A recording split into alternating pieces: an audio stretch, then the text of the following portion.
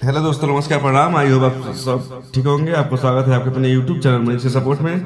आज हम बताने वाले हैं अमित शाह जी द्वारा दिया गया सारा निवेशकों के लिए खुशखबरी।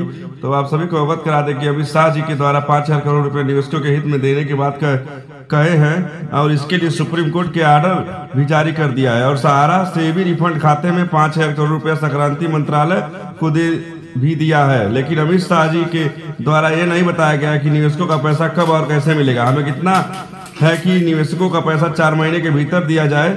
इसमें अमित शाह जी के द्वारा यह ज़िक्र नहीं किया गया है कि सबसे पहले पैसा बिहार के निवेशकों को मिलेगा।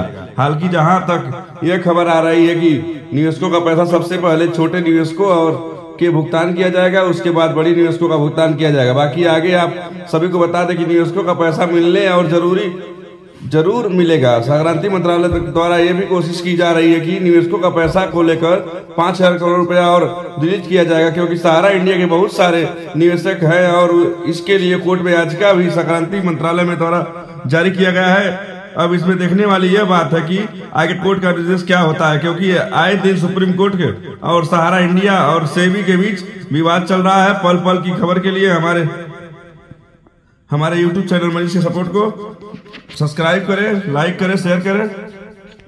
दोस्तों, हमारे यूट्यूब चैनल मनीष के सपोर्ट सारा इंडिया द्वारा चलाई जाने वाली वेबसाइट नहीं है और ना किसी से ऑफिशियल सहारा ऑफ़िस से कुछ लेना देना है।